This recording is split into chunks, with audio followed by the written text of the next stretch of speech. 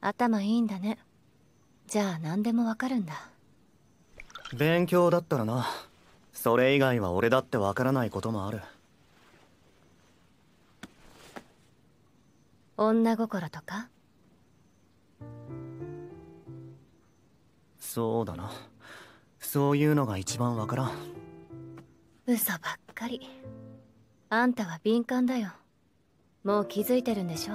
本当の気持ちに誰の話だ？その言い方だと心当たりがあるみたいだね。ないから聞いてんだろ。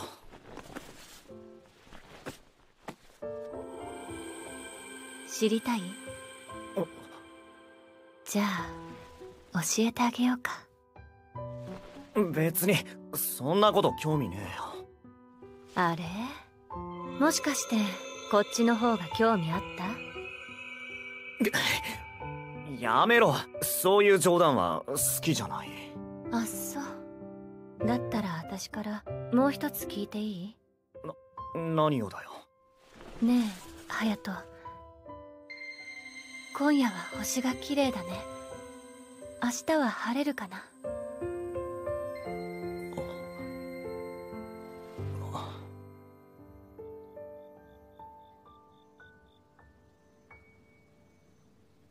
さあな。